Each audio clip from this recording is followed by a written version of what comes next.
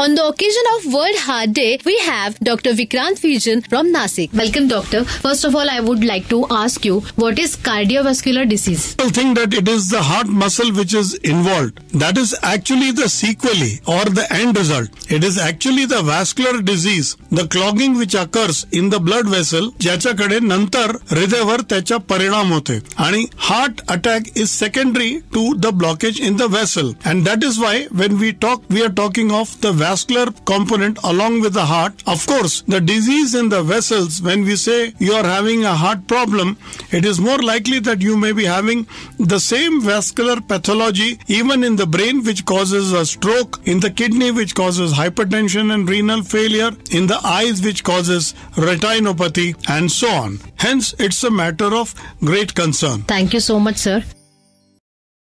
Warning signs for a developing heart disease. If you have had a warning sign for heart disease, you are lucky because the body has given you a time to act. I have seen well to do people, knowledgeable, thinking that it is gas or acidity and it gets neglected. And by the time they come to us, a lot of damage has been done or the patient is in a very bad critical state. So, our index of suspicion for coronary artery disease has to be a very, very uh, high. That any person who comes and has had any sort of pain, he may have become all right by the time he comes to the hospital.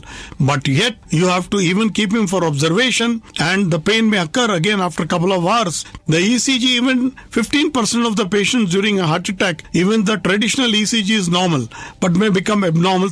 Uh, doctor, what changes should be brought in our lifestyle and diet to control high cholesterol level? First of all, let me say many times people only get blood cholesterol done which is normal and more often than not in, in the Indian population, we have cholesterol may be normal, yet a person has a heart attack because we have a different pattern of lipids, what is known as raised triglycerides, which is maybe related to our genes and our high carbohydrate in the food, and protective cholesterol, what is known as HDL cholesterol, which is low. And this has even been internationally now called as the Indian dyslipidemia. That means where you have normal cholesterol, but yet your lipid other parameters are quite abnormal. So always get the complete test done. Changes in diet and lifestyle are of utmost importance. Now, first of all, let's talk about lifestyle. Physical activity among Indians is very low, and many a times the exercises which we do may not be appropriate. So you have to balance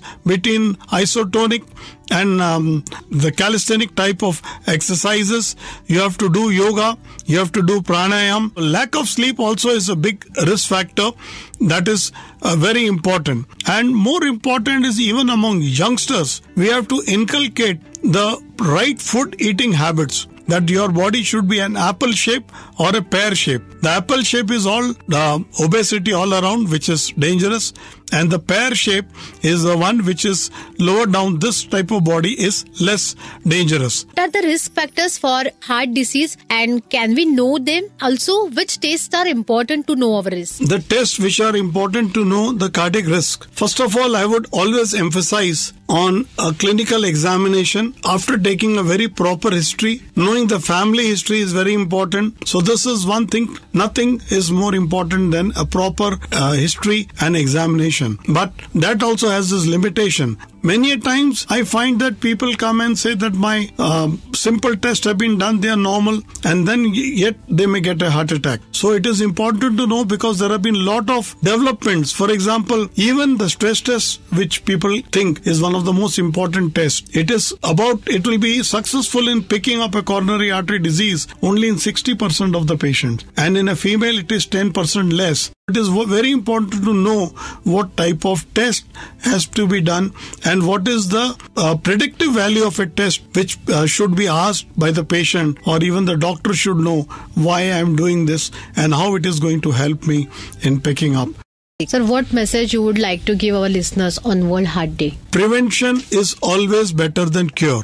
It is a golden word. It is better not to fall ill than to fall ill and then suffer for the remaining part a costly treatment, lot of psychological, emotional trauma, and sometimes the pain of a person who has departed quite prematurely. So prevention would be to have a very right emphasis on regular checkups. That is very important. And most important of all, in today's era when there is everything is very high tech, it has a cost. And so please get insured. So every person, when you pay a premium for even 10 to 20 lakhs of insurance per person, it's a very small sum. But then should you fall ill or an accident or a heart problem, then it becomes very handy. So prevention is one thing. Just get rid of smoking, tobacco, stress.